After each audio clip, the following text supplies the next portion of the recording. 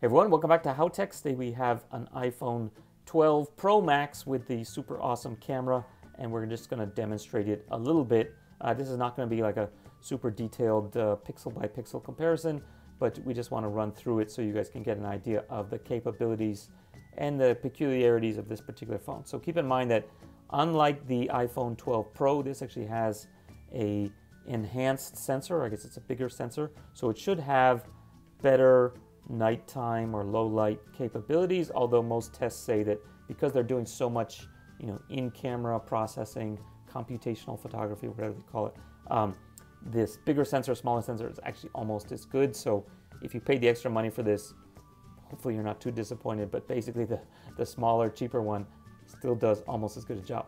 The other big detail with this is that it has a 2.5x uh, telephoto as opposed to 2x on the, the regular phones. So slightly better, not huge amount, but yeah, let's take a look at the camera. Obviously, don't forget you can also pull down and go to the camera here, in case you didn't know that. So um, yeah, here's what it looks like. It's basically the same as anything running iOS 14. Uh, the main difference is that, yeah, you have two and a half, can you guys see that? Two and a half times zoom suddenly. So that, and also these newer phones have the hold it down and start recording, and then you can also lock that. So one question I have, and I guess we could check in this video, is the aspect ratio here now. Is it recording just what I saw in my viewfinder before I started recording, or is it seeing this part, as you can see, like that's showing up on screen, but is it showing up in the video? Okay, let's just check because I'm curious. So what happens when I, okay, forget that. Let's even turn on the sound. Is it recording just what I saw in my viewfinder before I started recording, or is it seeing this part, as you can see, like that's showing up on screen, but is it showing up in the video? Okay, let's just check.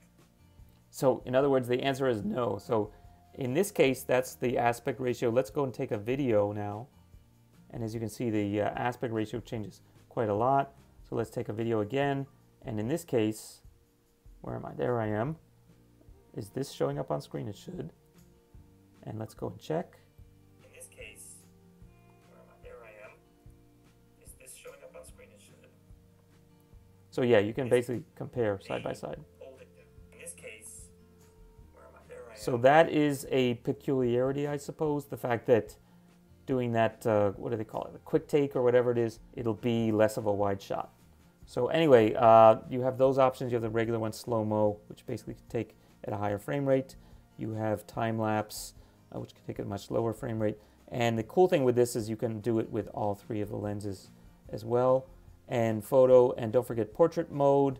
So portrait camera, create a portrait and blah, blah, blah. So this allows you to do the bokeh and whatnot. And of course the panoramic, so uh, these are all pretty standard.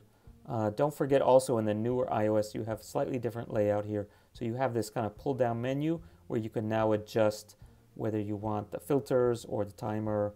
And this guy should be exposure settings. That's great. So this is the Pro. Uh, you can change the aspect ratio here, of course. And also whether you want live photo on or off or live auto. I guess that's interesting. So it guesses if you need it on. I don't know um, and then flash auto on off.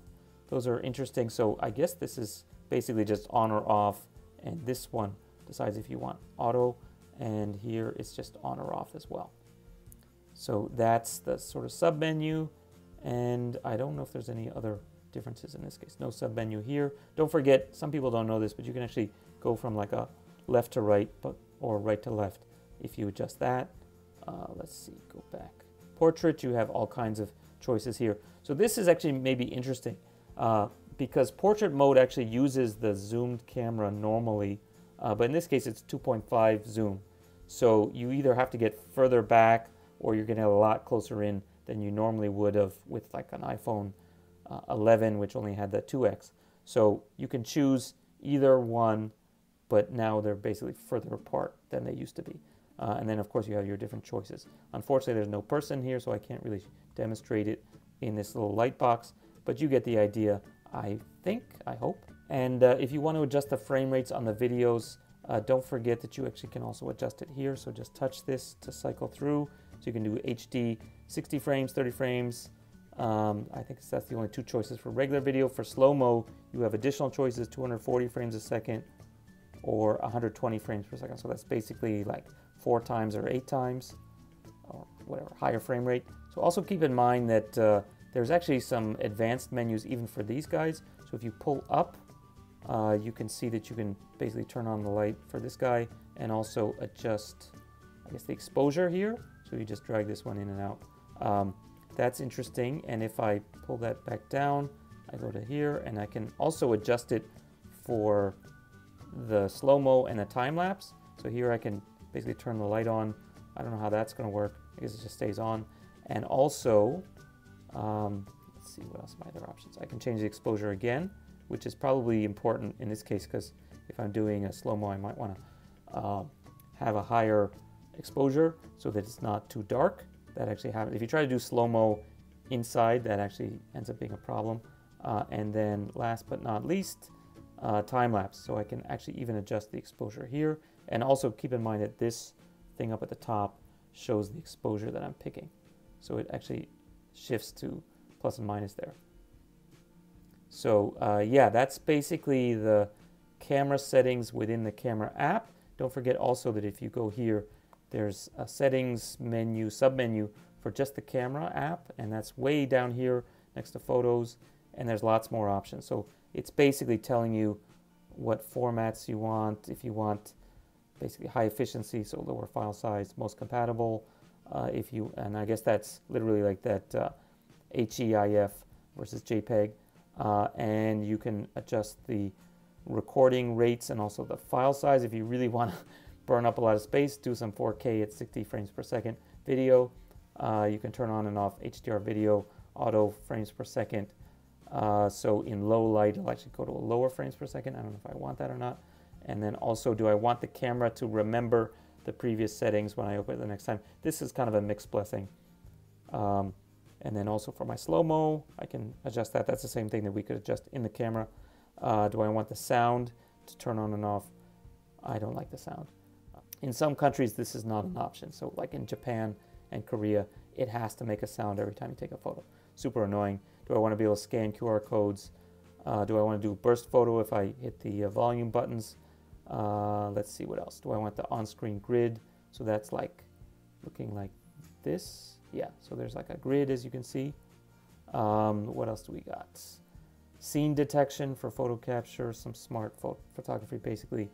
Uh, this is actually also interesting. Lens correction for the ultra wide camera. So on the ultra wide, let's turn that off and see if we can detect it. Um, I've seen this as a big problem if I'm doing like a, a group shot or something like that. Like you can see that the shape starts distorting. So somehow I think it like zooms in and kind of scales it back. So that's what it looks like with it off. Let's see if we can see a difference. Uh, yeah, and now it's back on. And we'll switch back here. Does that look better? Yeah, maybe a little bit. It's, it definitely feels different when I'm doing this. So uh, the best way to see the distortion is if you ever like take a group picture and you have like a person put their head right here, you'll see the distortion. You'll see that their head gets like super stretched. So um, that's to be expected. But even in the like 1X camera, I've seen that happen as well. So just keep that in mind. So anyway, uh, that's basically it for the awesome camera on the iPhone 12 Pro Max. If you have any questions, if there's anything uh, that I missed that you want to see, do let me know. This is actually my personal phone.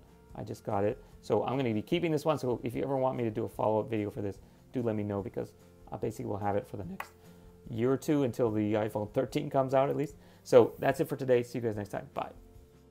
Everyone, welcome back to HowTech. Today we have an iPhone 12 Pro hot off the presses. I just picked it up at the Apple Store. It is the morning of the release, the 23rd of October.